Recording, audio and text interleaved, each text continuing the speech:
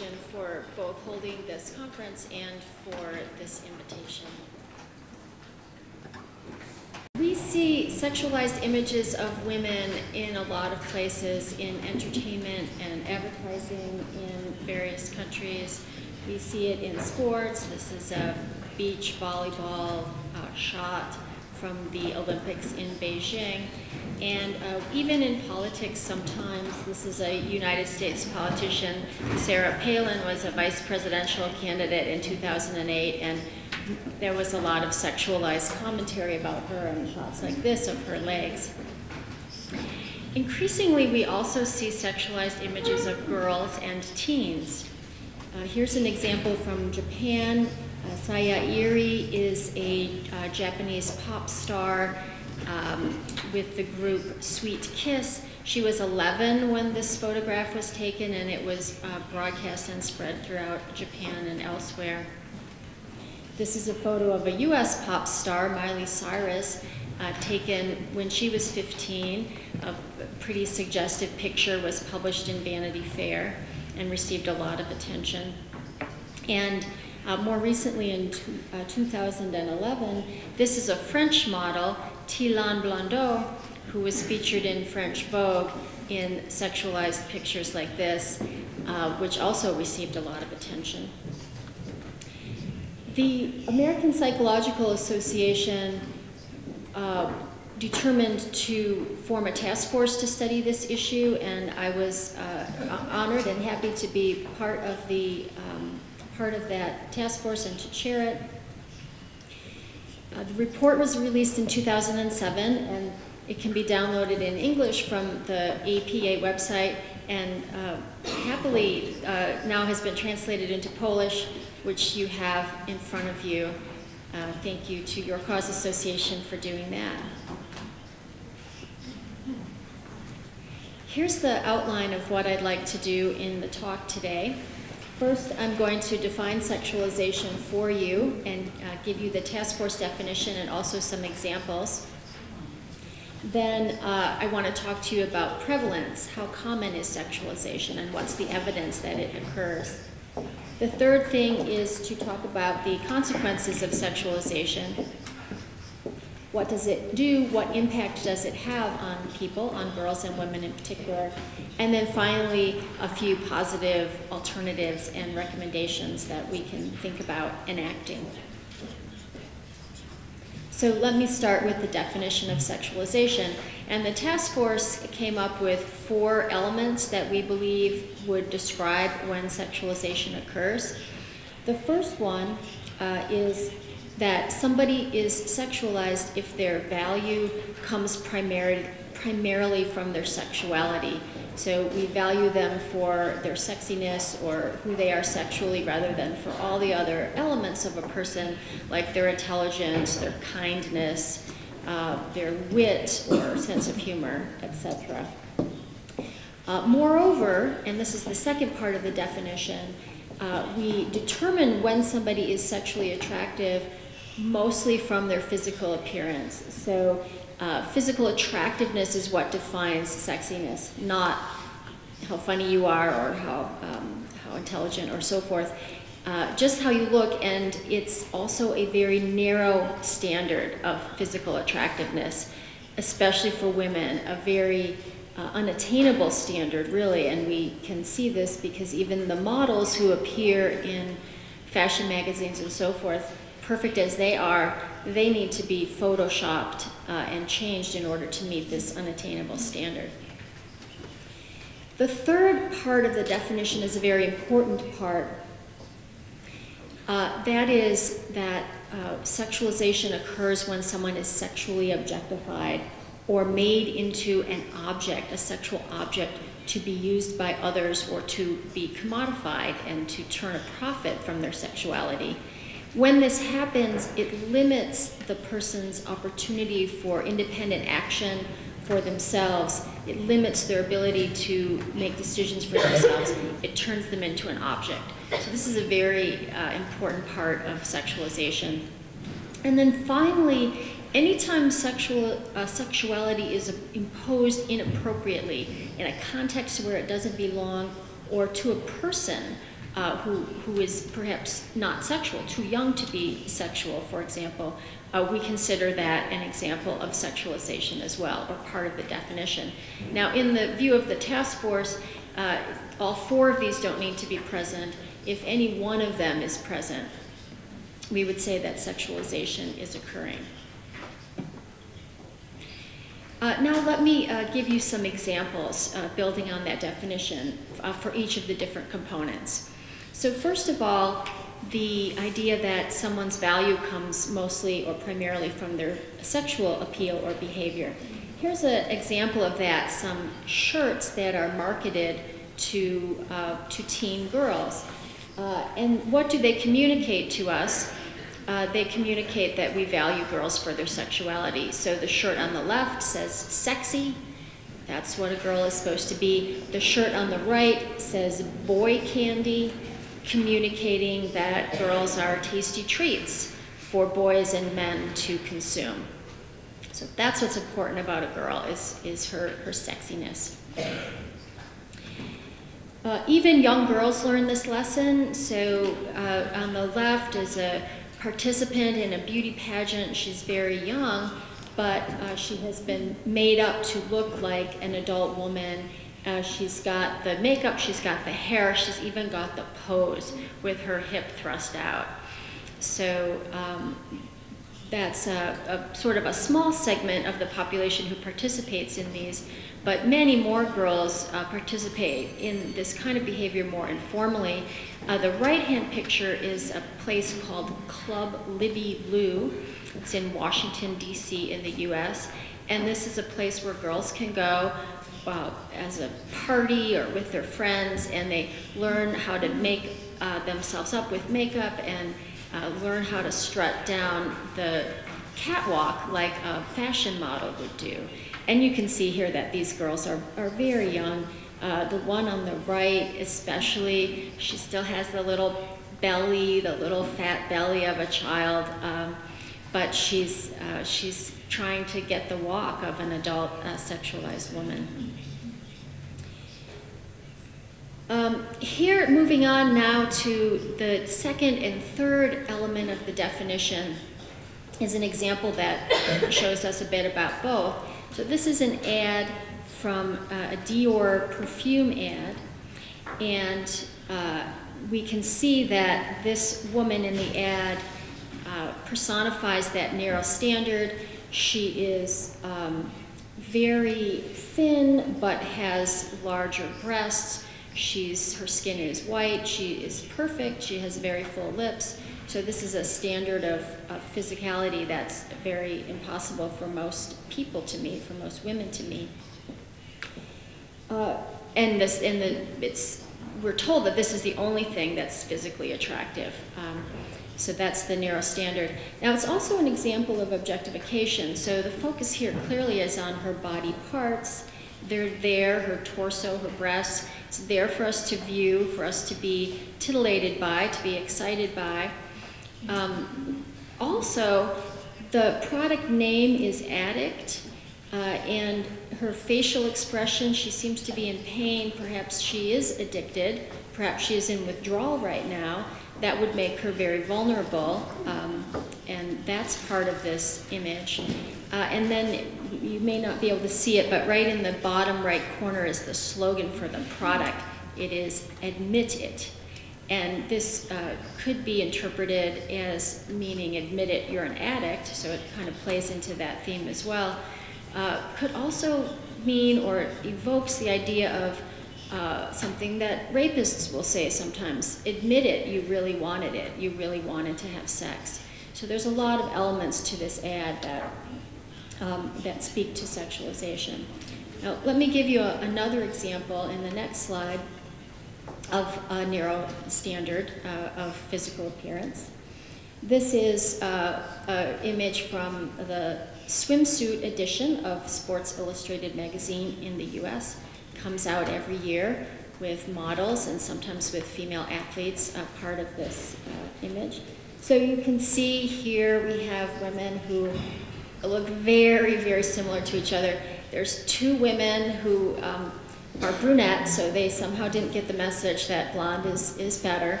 Um, and uh, they're a little bit different in how tall they are, and they have slightly different size bikini bottoms, but they look almost interchangeable. And that is the message of objectification and the narrow standard that that women to be valued at should just be interchangeable with each other in meeting this particular standard.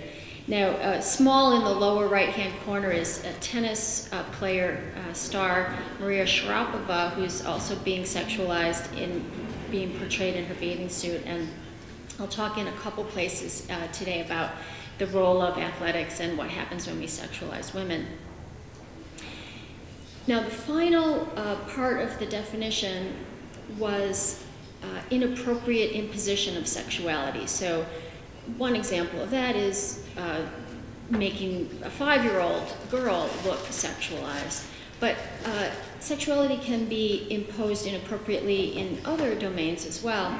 And one of my uh, examples that I, I, like to show uh, is uh, a football example, the 1999 Women's World Cup Finals.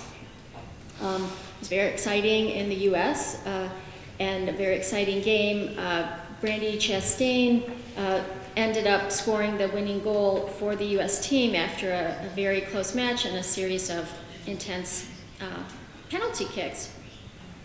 30 minutes of overtime. Now, as is common with male soccer players, um, she, at that moment of jubilation and the athletic victory, she tore her shirt off uh, and was celebrating with her teammates. Now, what is different from what happens with a male uh, football player um, is that these actions, this action was sexualized by many commentators, at least in the United States. So um, they made reference to what they called her stripped tease. She was called the owner of the most talked about breasts in the country. And then by association, her whole team was sexualized when one commentator referred to the team as the booters with hooters. So the kickers with breasts. Um, so I, this is, I think, a clear example of sexuality being imposed inappropriately. And I would say it's kind of ridiculous, really. Does this look like a striptease to you? This doesn't look like any striptease that I've ever seen.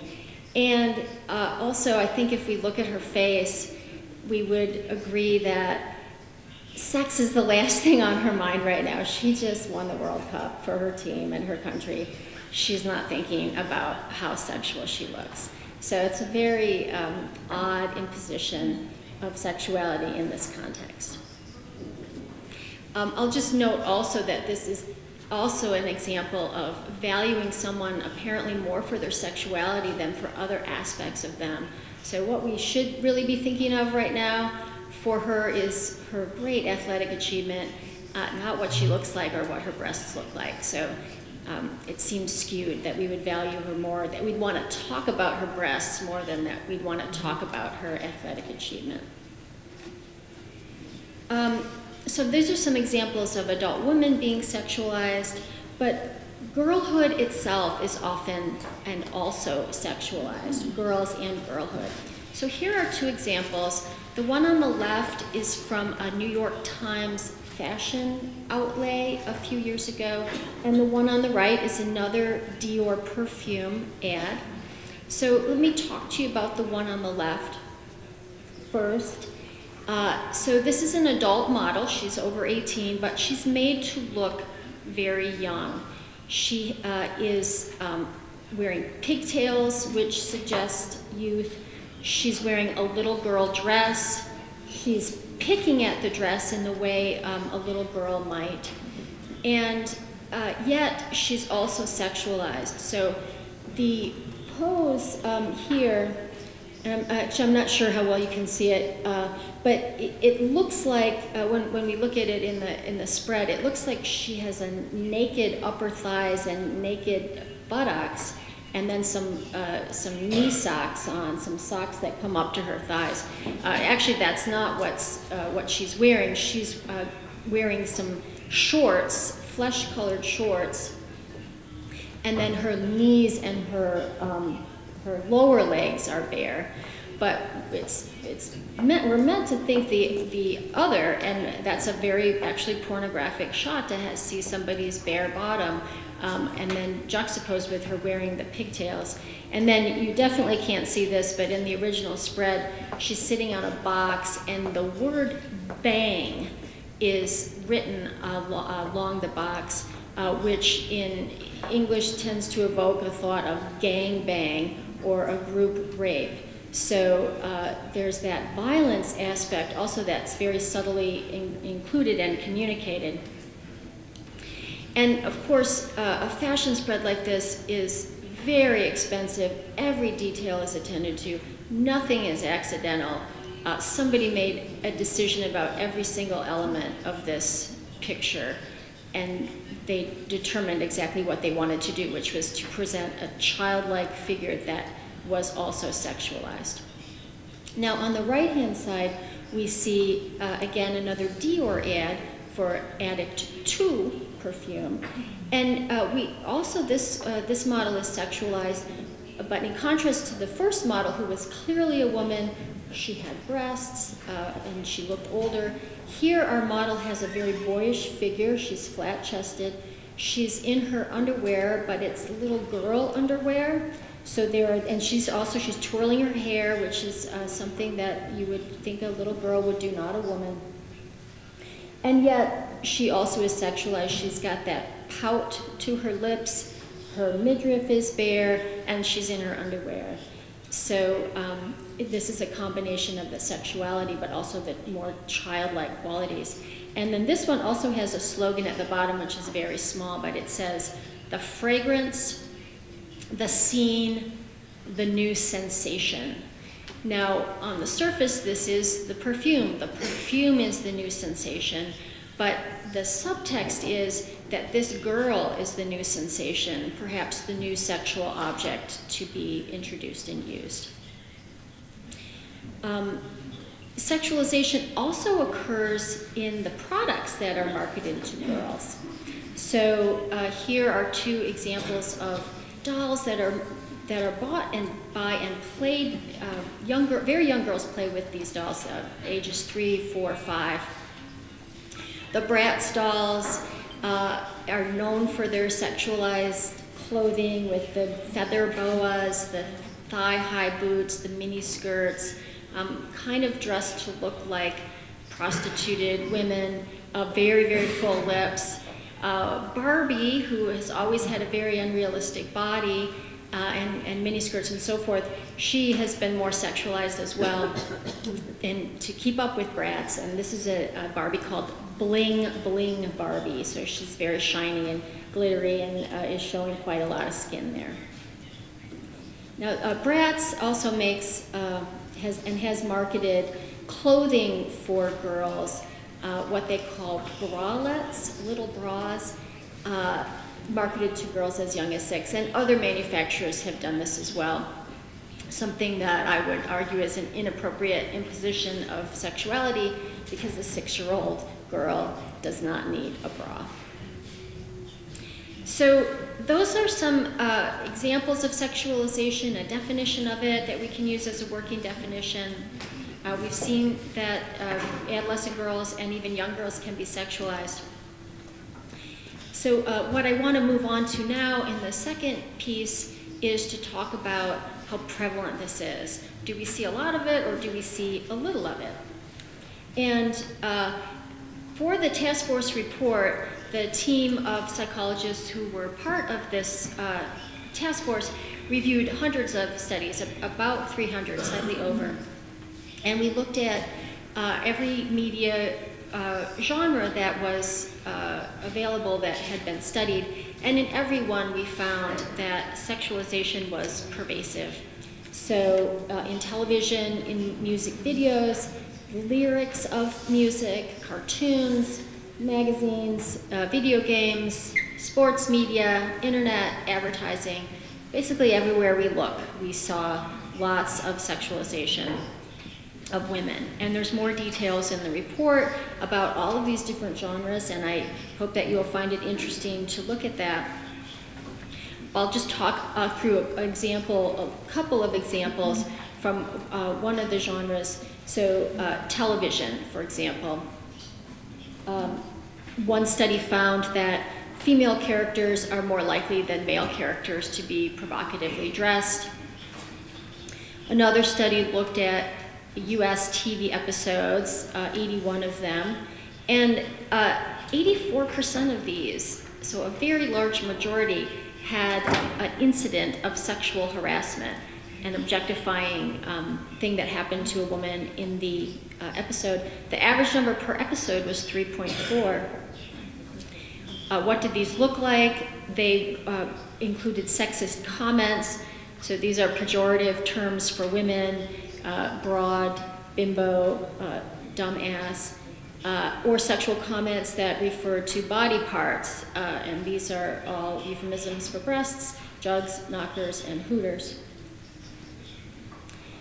Uh, if we go on and we look at music videos as a genre, uh, there are high levels of sexual content, much of it sexually objectifying to women. Uh, and of course, these music videos are exported from the US around the world, including to Poland. I saw them in my uh, the hotel room gym yesterday when I was uh, down there, and all of these are available worldwide, not just in the US. Uh, they often include women dressed in provocative clothing or women whose function in the, in the um, video is just to be decoration, just to be an object that dresses things up, if you will, and sexualizes things. They're very often portrayed as sexually available, especially to the male um, singer who is the star of the video. And men in these videos are very often portrayed as uh, sexual players who want to have very many women and uh, not have relationships, but simply uh, go through women sexually very quickly. Um, now here's uh, here's a picture from a, a, a rap video, and hip hop and rap are two genres that are especially known for their um, for their objectifying portrayals of women, but they're not the only genres that do so. Um, this example here, Nelly's tip drill video, is kind of an infamous example, both because it was very sexualizing, and one of the things that Nelly did in his video uh, was to portray women uh, like um, ATM machines, and he swiped credit cards down their backsides. Um, sort of the idea that women uh, can be bought. Um, and so it was very objectifying, but also was uh, the cause of a protest by some African American university students in Spelman College, which is a uh, mostly African American college. Uh, and they, uh, is kind of a longer story, but they, they uh, staged a protest about this uh, because they were um, angry that an African American artist was objectifying his African American sisters in this way. So hip hop is, uh, is, is quite bad, but not the only genre by far uh, that looks at, that objectifies women. One study looked at country music videos, also found a lot of objectifying content. And then another study looked just generally at everything that's shown on the MTV network and found uh, sexualization present across the different across the different genres. So uh, there's a lot of um, there's a lot of uh, negative uh, portrayals of women in in videos, and uh, you might think that it's only the male artists their videos do this, but in fact, female singers have had to sexualize themselves in order to advance their careers and uh, be more successful.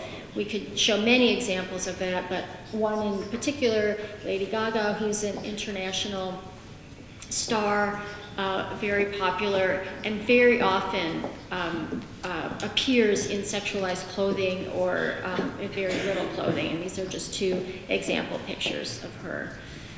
Uh, um, moving on just quickly to another genre music lyrics. What are, what are the words in music and what do they convey about women?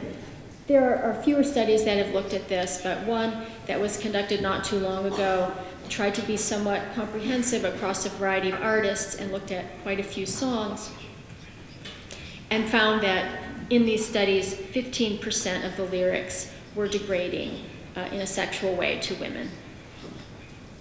And I'll, I'll just give you a few uh, examples of the lyrics, and they have been translated, so um, you can read them there. Uh, these are, uh, these are um, lyrics that treat women as though they are prostitutes uh, and call them derogative names like bitch, uh, very objectifying to women.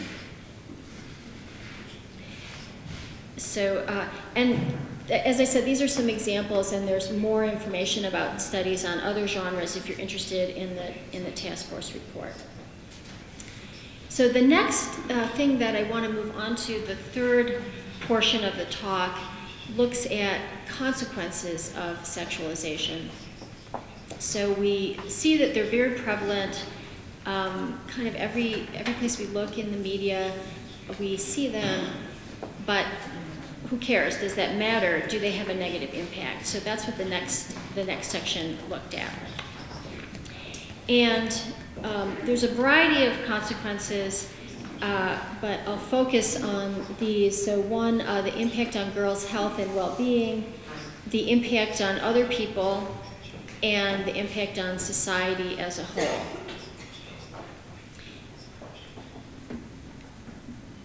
So starting with girls and the impacts on them, on their health and well-being,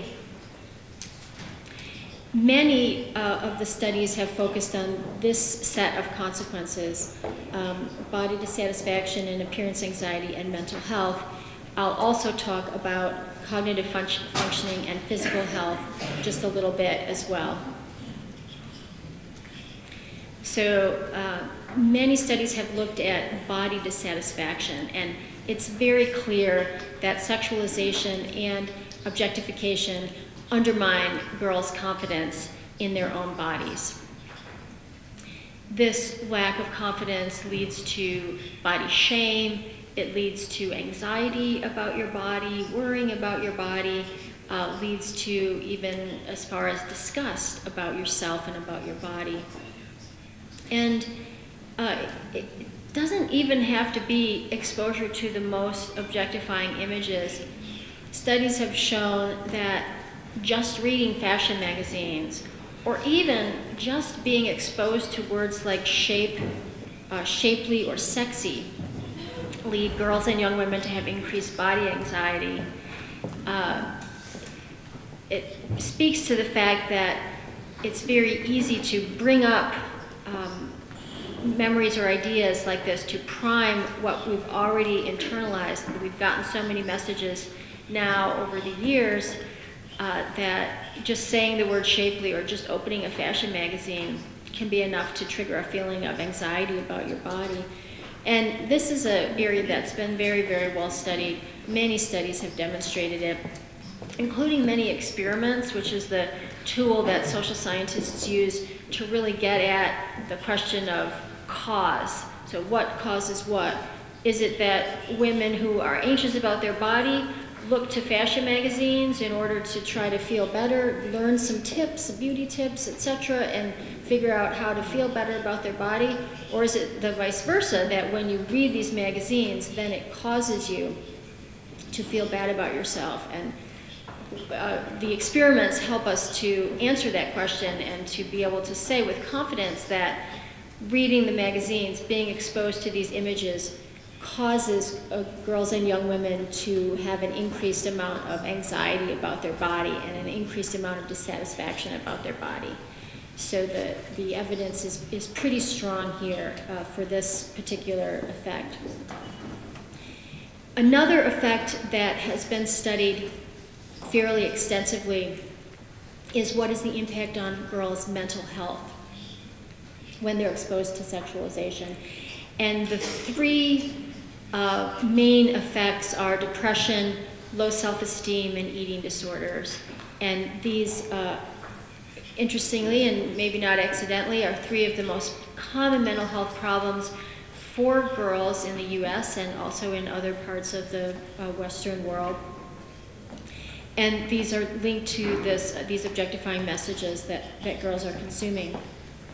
There's again a lot of studies, including experiments that help to confirm the direction of what's causing what. Um, I'll just mention briefly one other study, kind of a natural experiment, where in the Fiji Islands, uh, Western TV was not available for many years, and uh, it was introduced uh, all at once, and uh, a researcher there was able to look at um, uh, disordered eating before the introduction of the Western television and after the introduction of it, and found a spike uh, after Western TV was introduced. So suggesting that it was an important cause of that, of that spike of um, of eating disorders. And again, many studies have looked at this, so this is, I think, fairly well established. Let me talk to you a little bit about cognitive functioning, about um, thinking, problem solving, uh, what goes on mentally and, and academically. There have been a number of studies now that have suggested that sexualization may impair cognitive functioning, may actually impact how girls and women think.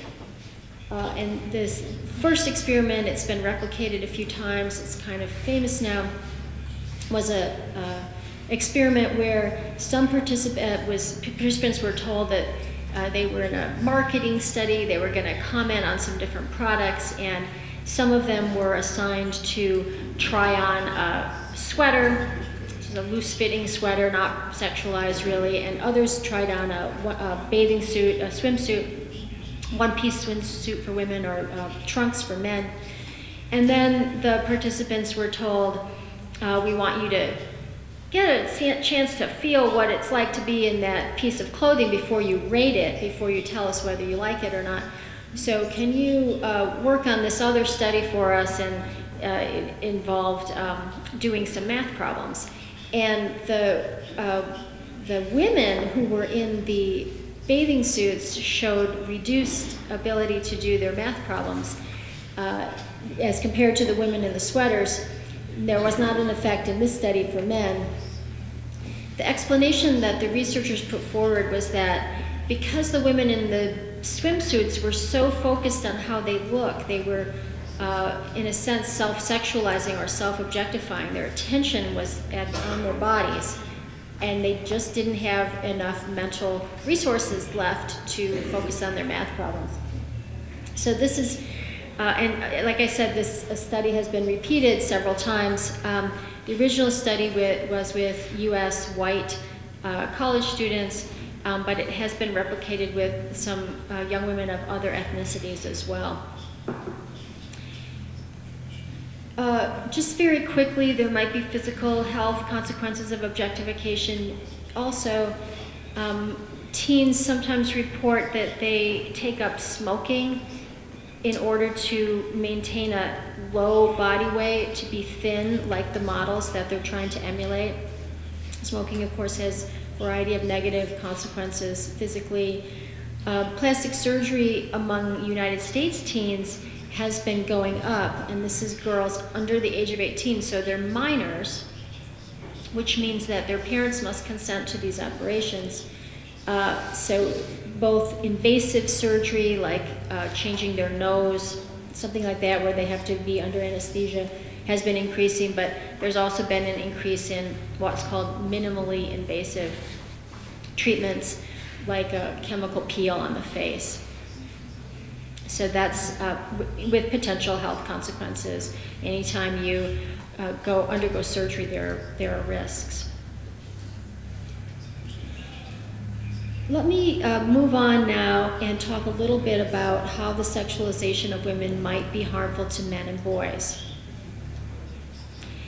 Um, so some of the work that's been done, and, and, there's less work on the impact on boys and men than there is on the impact on girls and women, but what has been done is interesting.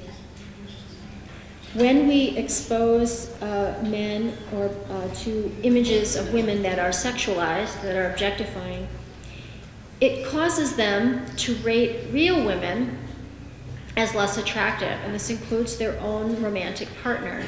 So when men see these objectifying images, it actually uh, makes them feel less good about how their partner looks. Uh, and can lead to, and in one study at least has been shown to lead to anxiety and hostility towards women and towards their partner. Um, men's objectifying belief about women and objectification of their romantic partners has also been shown in a couple of studies, including one that I conducted with some colleagues, uh, to correlate with less satisfaction in the relationship and less satisfaction with sexuality. So, looking at these idealized women, these fantasy women, actually appears to cause men to feel less happy about their real lives and less satisfied with their real partners. So, not, not a very good uh, outcome for them uh, as well.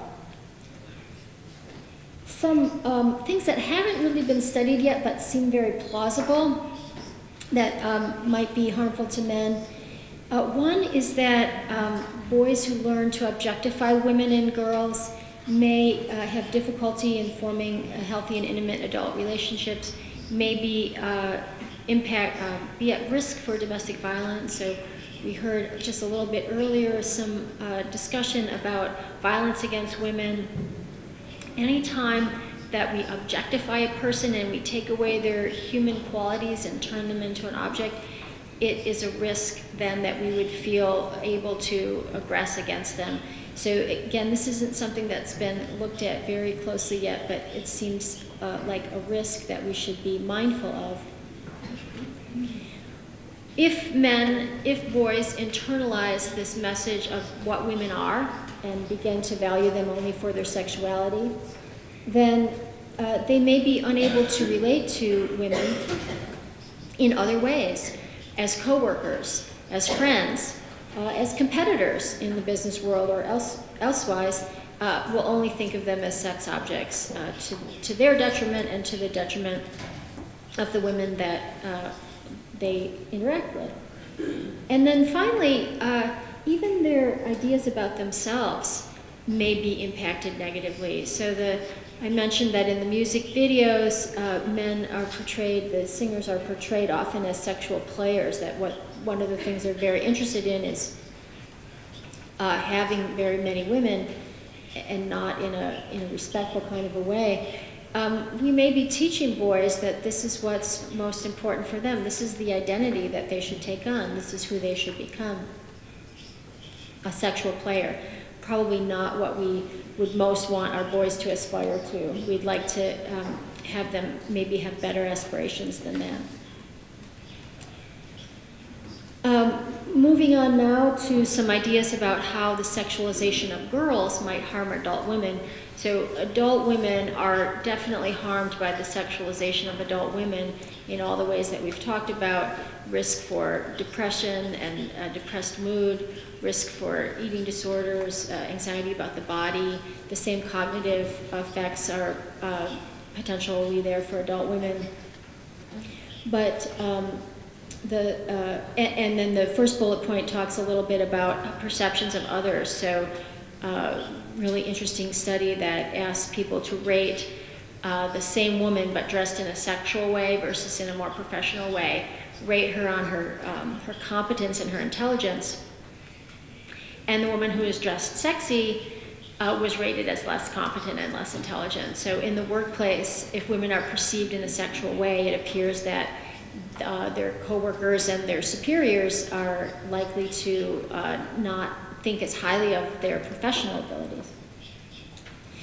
The, particularly the sexualization of girls may be harming adult women in that as we, if we pull the standard of beauty younger and younger, so women are trying to meet a standard that increasingly is um, uh, you know, a, a teen, uh, what a 17 or 16 year old looks like, uh, one of the impacts of that is a potential increase in plastic surgery rates. And uh, um, plastic surgery for adult women in the US has also been going up, in particular, Botox injections that get rid of, temporarily get rid of uh, wrinkles by paralyzing muscles in the face have been skyrocketing recently. Now, let me uh, move on a little bit to talk about an impact on broader society. And I, I think actually that this is one of the things about your cause association that's so exciting is that uh, it's thinking of this problem as a social problem, something that impacts all of us, that impacts our communities, and looks at what, what those impacts are. And I think that's a very promising way to think about it. Uh, sexualization is very linked to sexism, uh, to discrimination against women, and uh, it, it, has been shown to increase uh, sexist attitudes uh, and sexist beliefs. So when you see these objectifying images of women, it, it tends to increase people's sexist thoughts. It may also impact girls' education aspirations and achievement. So some of the, the study I told you about the mental effects, uh, if you are having difficulty concentrating in class because you're thinking about your appearance, that can potentially impact your academic achievement. Um, so let me go on to talk just a little bit more about both of these. Um, when we look at uh, the relationship between sexism and sexualization, here are some of the studies that have been done. When uh, people, men and women, view sexually objectifying media, they are more accepting of rape myths. So myths about rape, such as that women really want it, or uh, myths that blame the victim in rape. They're more accepting of sexual harassment, and they're more accepting of interpersonal violence, especially violence against women. When we uh, expose people to uh, sexually objectifying media in the lab, uh, it leads to harsher judgments of real women in various ways. Uh, one of those I talked about earlier, that men judge their female partners more harshly when they, after they've been exposed to objectified images. Uh, it also causes more sexist behavior in the lab. So some experiments have been done that have used um, what we call unobtrusive measures. So there's some sort of uh, interaction that the participants in the study are doing and they're videotaped or watched uh, very closely by a, by a researcher. And uh, it, things like standing very close to the woman, asking sexist questions of her, those things go up. In a, in a um, interaction that's supposed to be non-sexual, they go up after uh, the men are exposed to objectifying pictures of women. And then a little bit more about the educational aspirations. So the sweater swimsuit uh, study is relevant here. Other work has been done as well. So in one uh, set of studies, young women were exposed to either a, a, sexy, pretty ad, that's the, what the researchers called it, but we, it's a sexualized ad uh, in, term, in our terminology. So they, uh, one group of people looked at those, another group of people looked at gender neutral ads the young women who, who viewed the, uh, the sexy pretty ads uh, were less interested in math and science careers after looking at these ads, and they reported lower leadership aspirations. So they had uh, less of an idea that they could be leaders uh, going forward. Another study, and this is one that I just uh, conducted with a colleague, and it's not published yet, but it's under review. Also, an experiment where we had young girls play with Barbie dolls. Uh, one group and another group play with a non-sexualized doll, Mrs. Potato Head doll. It's a doll shaped like a potato and uh, has little plastic ears and stuff that you can put in it. Um, and the girls who were playing with the Barbies, and then we asked the girls, uh, how, you know, could you do this career? Could you do do this career? We showed them pictures of different uh, settings and asked them if they could do the job of a doctor, a pilot, a teacher, and so forth. And uh, girls who played with the Barbies said they could do fewer careers than boys could do. both male stereotyped careers and, interestingly, female stereotyped careers. So playing with the Barbies seemed to suppress their career aspirations. Um, and uh, we, we didn't see uh, uh, children who played with the non-sexual toys having that, um, that decrement in the number of careers, or there's less of a difference between the careers they thought they could do and the careers they thought boys could do. So um, very suggestive that even at a very young age, uh, playing with sexualized toys can have a negative impact. Uh, and just a bit more about education. Uh, the um, problem of sexual harassment in schools is a very serious problem and deserves our attention. Can have uh, quite severe negative consequences for girls. In some cases, it really makes it virtually impossible for them to study and to pay attention to their, uh, to their studies. Uh, and we see that sexist and objectifying attitudes, such as those that come from viewing sexualized media, those are linked to sexual harassment. So uh, we've seen that sexualization is very common. Sexualization of women and girls, very common, very prevalent. Uh, it also has a host of negative consequences. Now we'd like to uh, think a bit about, is there anything we can do about this? And uh, I'll talk very briefly about uh, working through schools, working through the family, and working directly with girls, and then much more of the conference will be devoted to this issue of what can we do about this problem. Uh, so just starting some ideas, and these are in the task force report as well, a little bit of elaboration of them. Some things that schools can do. One very promising technique is uh, to develop and implement media literacy programs. So uh, we want to give children some tools. Uh, we can't protect them from seeing all objectifying images, so we want to give them some tools that will help them to be able to interpret and critique these images instead of accepting them uncritically. So the goal is that the student, uh, the children will become, learn to become active in their viewing of media rather than passive. They can interpret it rather than just consume it. Um, athletics are a potential uh, avenue for girls that they can develop a resistance to sexualizing messages, and I'll come back to that in a minute and say a bit more. Um, it, athletics, uh, because of the um, the focus on the body that's not a sexualizing focus, it seems that that maybe has special promise.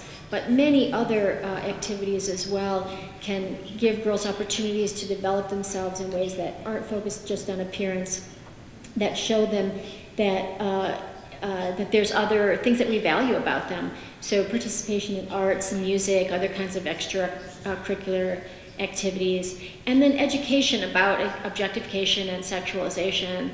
Uh, potentially the schools are an appro appropriate uh, point to, um, to do that. Now, uh, I just want to talk really briefly about athletics again a, a little bit more. Um, female athletes in the media are more likely to be shown in sexualized than in performance images. And what do I mean by that? Let me show you. Here's a U.S. downhill skier, Lindsey Vonn, shown in a performance image. She is doing her sport and doing it quite well. Uh, in contrast, uh, this is an image of her and three of her teammates in a sexualized uh, portrayal. So she's the one on the far left, and she does have her skis with her, but she's not really using them. Uh, the focus, she's not wearing ski, ski garb, she's wearing a swimsuit. Uh, so really the focus here is on what her body looks like and how sexy it is, not on what her body can do, not on her athletic achievement. Some really interesting research um, by uh, Beth Daniels has been uh, showing how important it is to have performance-based images of women rather than sexualized images of women athletes. Uh, in some of her studies, uh, she asked teen girls to look at performance-based versus sexualized images. And when girls saw the picture of the skier actually skiing, um,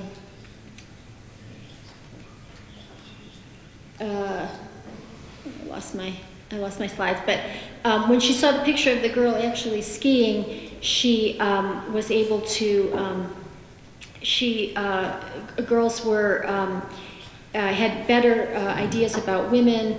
Uh, they were more, um, uh, they were more, uh, yeah, can you back up just a little?